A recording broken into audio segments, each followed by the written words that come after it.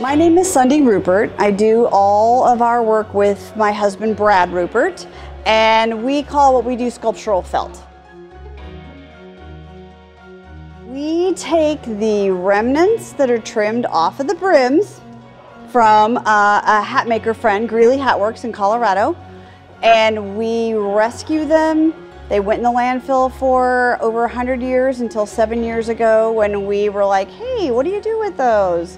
And um, cut them into thousands and thousands of little pieces and then nail each one down to a carved wood base to create all of this texture. When I was like six, um, I used to draw on the underside of the coffee table uh, during cartoons. And um, I always said I wanted to be a sign painter because that's like all I knew. Like, you know, you'd see billboards and I'd be like, I want to do that. Well, I went to um, school for graphic design and that's also where I met Brad, also at Iowa State for graphic design.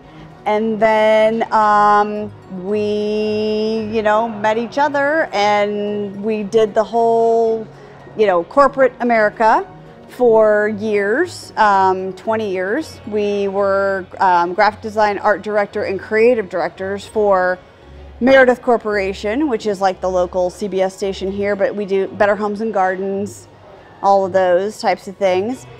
And then we both went to work for Garden.com back in the 90s, which was one of the very early e-commerce sites, um, which was like the ride of a lifetime for a job, you know, because that was like the early dot-com, bring your dog to work.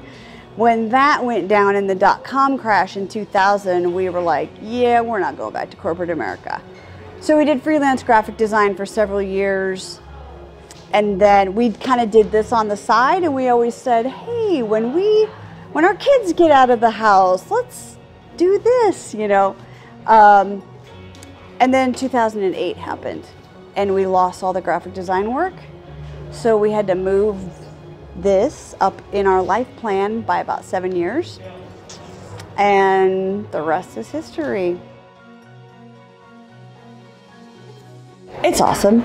I, mean, I feel uh, so honored to be a part of so many talented, well curated artists. In fact, one client that came in that we got a, a, commission for, she walked in and she was so excited and she said, I have to tell you, I feel horrible, but I'm an art snob. And I went to art school and I have driven by this tent for years and I was like, I'm not going in there.